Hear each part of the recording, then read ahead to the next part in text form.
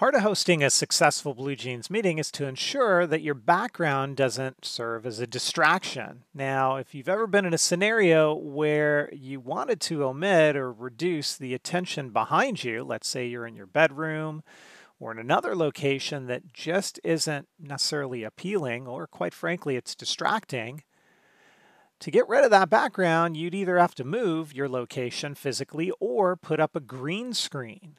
Well, with BlueJeans, we've got the ability to change out your background or even blur it out with the simple click of a button. No green screen required. Let me show you how it's done.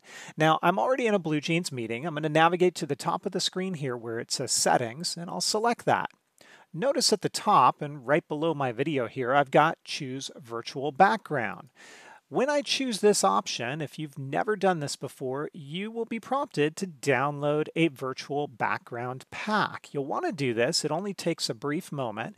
And then once it's downloaded, you'll be ready to go.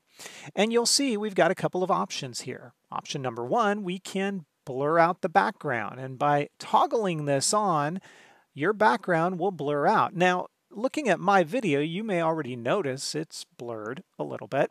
That's due to the camera that I'm using. However, if you're using a more traditional webcam, your video behind you would more than likely be clear. So let's go ahead and toggle this on because it still will work with my camera and you'll get this slider. And as I slide it to the right, it enables blurring. And I can go all the way to the right for the maximum amount of blur. And you'll see that on the video right here.